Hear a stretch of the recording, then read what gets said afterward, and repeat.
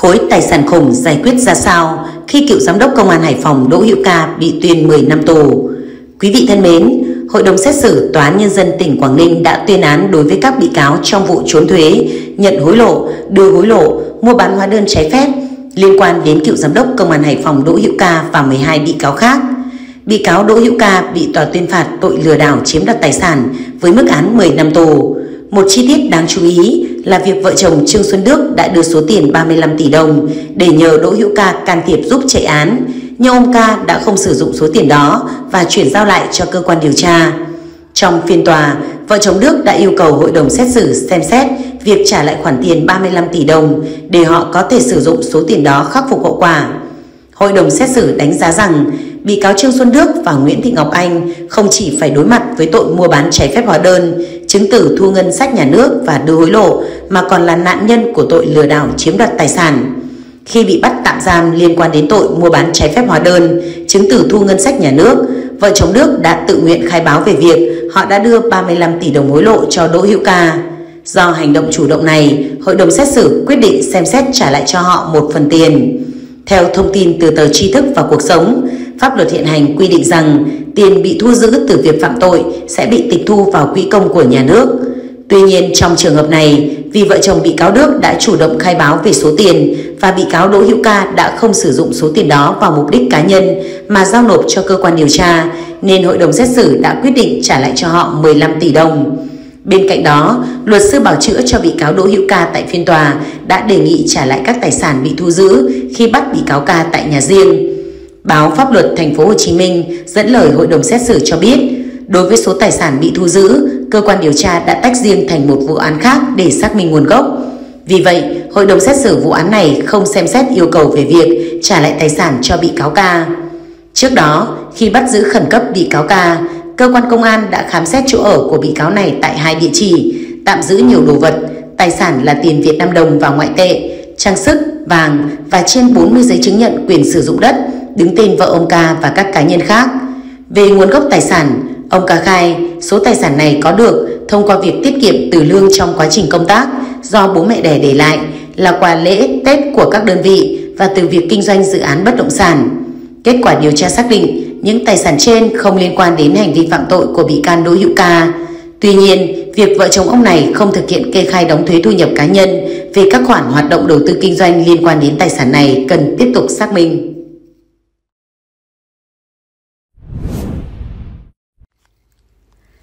Cát tặc vẫn lộng hành.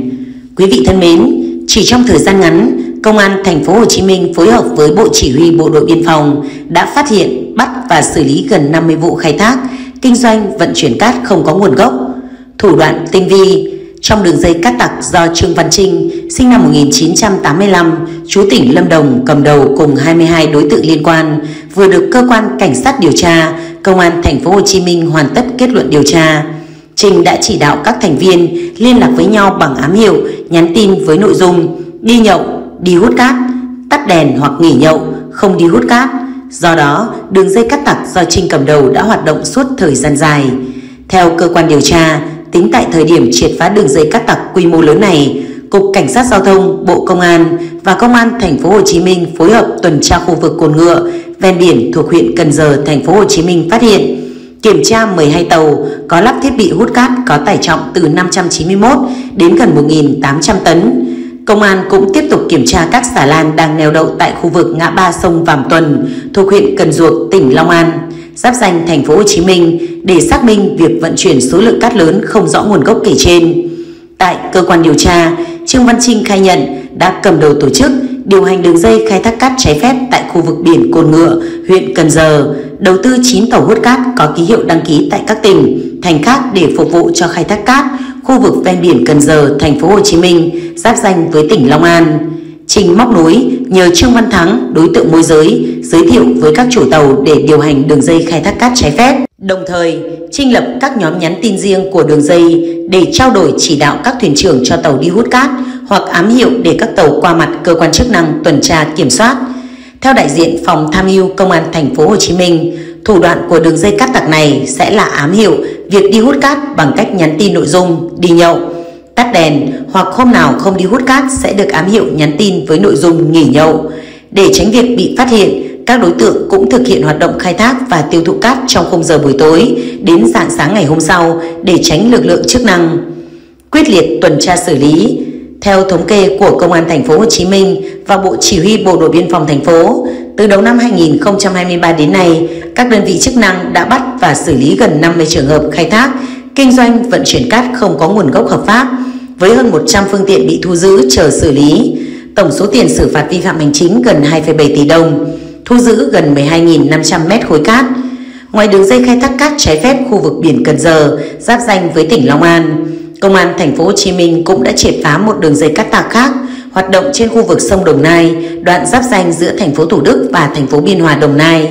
Hiện nay, Công an thành phố Hồ Chí Minh đã khởi tố vụ án, khởi tố 6 bị can và đang tiếp tục điều tra mở rộng để làm rõ vụ việc. Mới đây, khi tổng kết đề án phòng chống khai thác cát trái phép trên biển Cần Giờ, bà Nguyễn Thị Thanh Mỹ, Phó Giám đốc Sở Tài nguyên và Môi trường thành phố Hồ Chí Minh cho biết,